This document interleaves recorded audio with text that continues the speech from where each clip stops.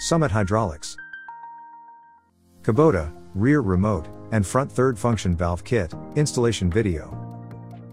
The remote valve kit is designed to work with the following Kubota models. The tractor shown in this video might not match your exact model. The following parts are included with your assembly. For any replacement parts, or hardware, please refer to contact at summit-hydraulics.com. Check the assembly manual for a complete parts list.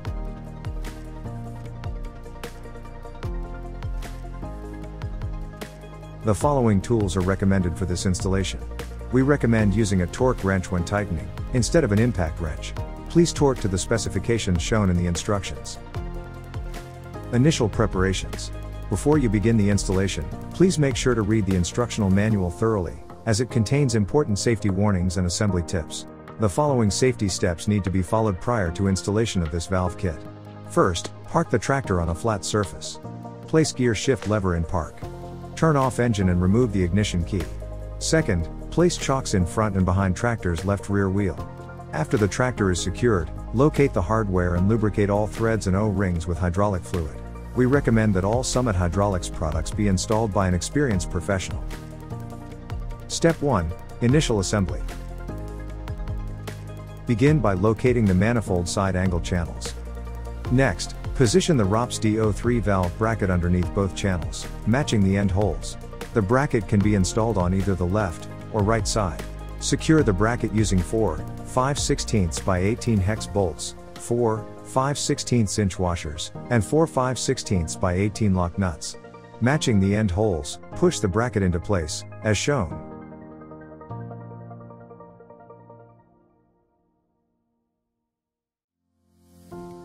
Fully tighten the hardware using an open-end wrench. Next, secure the manifold to both end channels, using the provided hardware.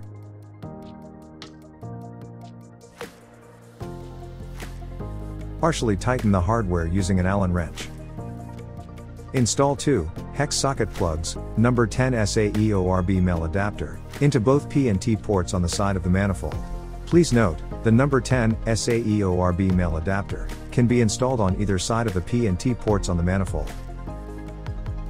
Fully tighten using an Allen wrench. Take care not to over tighten. Next, install one hex socket plug, number 6 SAEORB male adapter, into the front hole on the valve manifold. Fully tighten using an Allen wrench. After attaching the plugs, install 3, number 8 SAEORB male adapters, to the valve manifold, as shown. Fully tighten using an open-end wrench. Take care not to over tighten.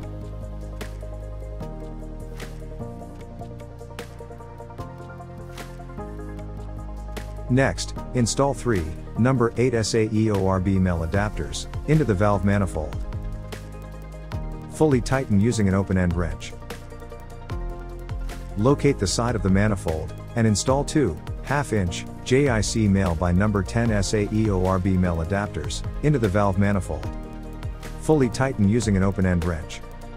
Take care not to over-tighten. Next, install 6, half-inch female quick couplers to the half SAE threaded adapters on the manifold. Fully tighten the couplers using an open-end wrench. Take care not to over-tighten. Finally, fully tighten the bolts connected to the valve manifold to secure the valve manifold onto the bracket. Fully tighten the bolts on both sides using an Allen wrench. Step 1 is now complete. Step 2, Valve Installation. Begin by locating the tractor rollover protection safety, ROPS, bar. This ROPS bar can be located towards the rear of the tractor. The valve mounting bracket can be installed on either side of the ROPS bar. We recommend installing it on the side with easy access to the power beyond port or high pressure hydraulic coupler. Next, locate the fully assembled manifold. Locate the provided hardware from the hydraulic kit, and install the hardware through the ROPS DO3 valve bracket. Insert two bolts through the slots, and two bolts through the drilled holes, as shown. You are now ready to mount the manifold assembly onto the ROPS bar. Choose a location on the ROPS bar that you wish to attach the manifold assembly. Place the manifold assembly onto the ROPS bar, with the bar between both bolts on the bracket, and place the assembly with the P and T ports facing down. Next, locate the clamp bracket for the ROPS DO3 valve bracket, and mount the hydraulic valve assembly onto the ROPS using the provided hardware. Locate the provided hardware from the hydraulic kit. Fully tighten the hardware using an open-end wrench. Take care not to over-tighten. Next, locate the valve assembly. There is a cardboard plate on the bottom of the valve assembly, held in place by four plastic inserts. Remove the inserts, and discard the cardboard plate. Repeat these steps, and remove the cardboard plate for all valve assemblies. Finally, install four solenoid control valves onto the valve manifold. Secure the valves using the provided bolts. Fully tighten the bolts using an Allen wrench. Torque the solenoid control valve bolts to 2 foot-pounds. Repeat these steps, and attach all remaining valves. Step 2 is now complete. Step 3, Pressure and Return Line Installation. Please note, if you have not already, place chocks in front and behind tractor's left rear wheel. Loosen the lug nuts on the right rear wheel. Do not remove the lug nuts yet. Lift the tractor to a safe height using the recommended factory lift points. Make sure to place safety jack stands where the factory recommends. Once tractor is safely lifted, remove the lug nuts and the right rear wheel. Follow factory procedures to remove the inner fender to expose all of the hydraulic lines. Begin by locating the power beyond port on the selective control valve, and the proper return to tank port. A steel line will be connected from the power beyond port on the SCV, and routed to the return to tank port. Once the line is located, remove this line. Next, attach a hose line from the power beyond port on the SCV, to the P port on the manifold. Route the hose as required. Locate a hydraulic oil line with a half inch female JIC, and thread the half inch female JIC onto the half inch JIC male, by number 10 SAEORB male adapter. Locate the 90 degree elbow, 3 8 inch JIC male by 3 8 inch JIC female. Thread the adapter onto the hydraulic oil lines with half-inch female JIC. Fully attach both hose ends using an open-end wrench, and take care not to over-tighten. Next, attach a hose line from the return to tank port, to the T-port on the manifold. Locate the hydraulic oil line with half-inch female JIC, 90 degree half-inch JIC female. Thread the half-inch female JIC onto the half-inch JIC male by number 10 SAEORB.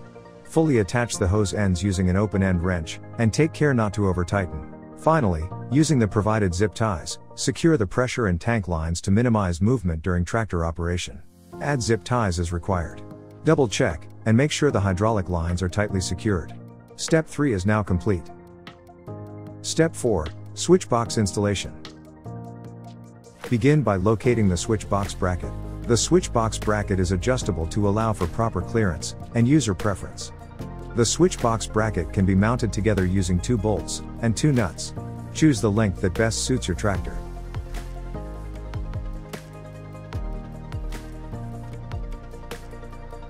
Fully tighten the hardware using an open-end wrench. Take care not to over-tighten. Next, locate the provided bolt and washer hardware from the hydraulic kit. Attach the hardware through the ROPS switch box clamp bracket. You are now ready to mount the bracket. Locate the ROPS frame on the tractor. This ROPS can be located towards the rear of the tractor. Locate the clamp bracket for the ROPS switch box bracket, and insert the bracket to the ROPS switch bracket assembly. Choose the location, and height, that best suits your tractor. Locate the provided hardware from the hydraulic kit. Secure the clamp bracket to the ROPS bar using the provided hardware. Fully tighten the hardware using an open-end wrench. Next, locate the switch box from the hydraulic kit. Position the switch box above the ROPS switch box bracket. Install the switch box to the ROPS switch box bracket using the two bolts and two nuts. Locate the provided hardware from the hydraulic kit. The bolts go through the top, and the nuts on the bottom. Fully tighten the hardware using an open-end wrench. After securing the switch box, route the harness cable and battery cables around the tractor as needed. The battery terminals go to the front of the tractor and attach to the battery. Properly route the wiring and use zip ties to secure the routing in place. Take care not to pinch or cut the cables. Next, connect the plastic Deutsch connectors on the wiring harness to the valve bodies, and attach the harness Deutsch connector to the switch box Deutsch connector. The connector should easily connect and clip in place. Step 4 is now complete. Step 5 Joystick switch installation. Begin by removing the existing knob from end of the control lever. Rotate and remove the knob. Next, attach the joystick handle switch. Using the provided Allen wrench, loosen the four tightening bolts on the side of the joystick handle switch. The joystick bottom has an adjustable bushing, and can be adjusted as needed to obtain a rough fit. Slide the bushing over the control lever, and tighten the bolts on the side of the joystick handle switch. Orient the handle as needed that works best for you, and then fully tighten. Run the wire alongside the control lever, and feed the wire through the boot. Slide the boot off, and feed all wiring through the boot. Slide the wiring down through the loader valve cover.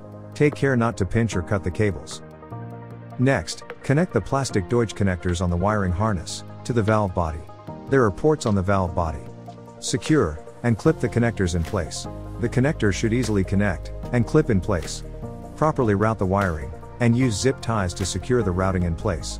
Next, attach the harness Deutsch connector to the switch Deutsch connector. The connectors should easily fit and clip into place. After all wiring is in place, you will need access to the battery. Remove the front cover as needed. Finally, connect the power and ground cables to the battery. Connect the black ground terminal end to the battery's negative post, and connect the red positive terminal end to the battery's positive post. Tighten as needed. Step 6 Coupler Bracket Installation. Begin by locating the hydraulic coupler bracket. Install two 3 8 inch JIC male by 3 8 inch JIC bulkhead into the mid mount bracket. Fully tighten the hardware using an open end wrench.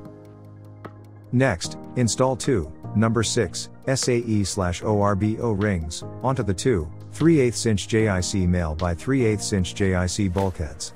After the O-rings are in place, install two, 3 8 inch ISO-B, male couplers, onto the two, 3 8 inch JIC male by 3 8 inch JIC bulkheads. Finally, locate the mid-mount bracket. Install two, 1 4 inch by 20, by 1 inch hex bolts, through the hydraulic coupler bracket. Install the mid-mount bracket onto the hydraulic coupler bracket. Secure the two brackets together using two 1 4 inch flange lock nuts. Fully tighten the hardware using an open-end wrench. Torque the bolts to 12 foot-pounds. Step 6 is now complete. Step 7, Mid-mount bracket installation. Begin by removing the platform carriage bolt on the right-hand side of the tractor. Attach the mid-mount bracket assembly to the existing hole on the machine. Secure the bracket assembly using a socket head screw and flange nut. The bolt should face upward. Torque the bolt to 20 foot-pounds. Step 7 is now complete. Step 8, third function hose installation. Begin by installing two 3 8 inch JIC male by number 8 SAE slash ORB male onto the valve manifold P and T ports. Fully tighten as needed using an adjustable wrench. Route the two hoses with 3 8 inch JIC male 90 degree adapters, and 3 8 inch JIC female adapters underneath the tractor. Be sure to follow the steel line, and route away from the wheels as shown. Install two 3 8 inch JIC male by 90 degree 3 8 inch JIC female adapters, onto the two 3 8 inch JIC male by number 8 SAE ORB male adapters on the manifold. Continue to route the female adapters towards the mid-mount bracket. Connect the two 3 8 inch JIC female adapters, to the mid-mount bracket with two 3 8 inch JIC male, by 3 8 inch JIC bulkheads. Fully tighten both hoses, and tighten the hardware using an open-end wrench. Step 8 is now complete. Step 9, Cross-beam coupler mount. Begin by locating the loader cross-beam coupler bracket. Install two 3 8 inch JIC male by 3 8 inch JIC bulkheads, onto the loader crossbeam coupler bracket.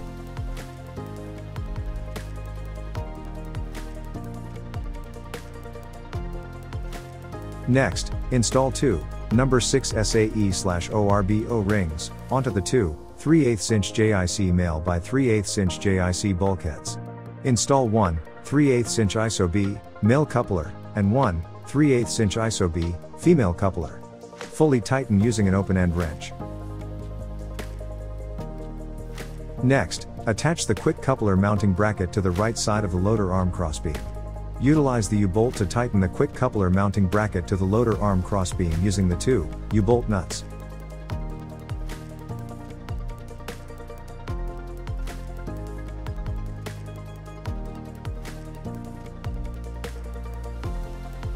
Route the A and B work line hoses along the loader arm, and through the loader loop bracket to the quick coupler mounting bracket.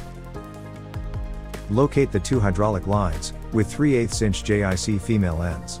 Install two 90 degree elbows, 3 8 inch JIC male by 3 8 JIC female, onto the two 3 8 inch JIC female.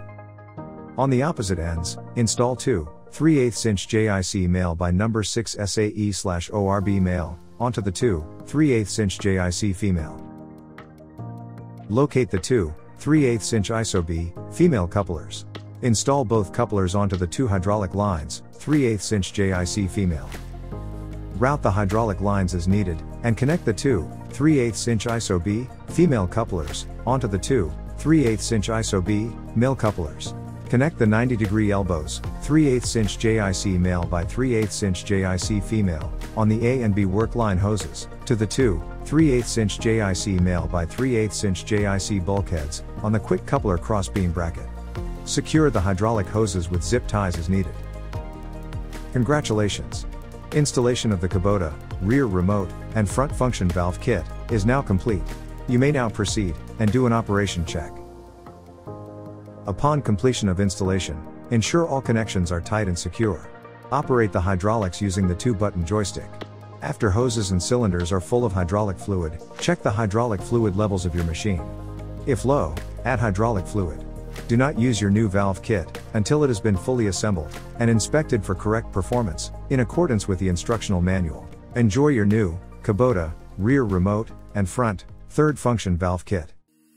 Brought to you by Summit Hydraulics.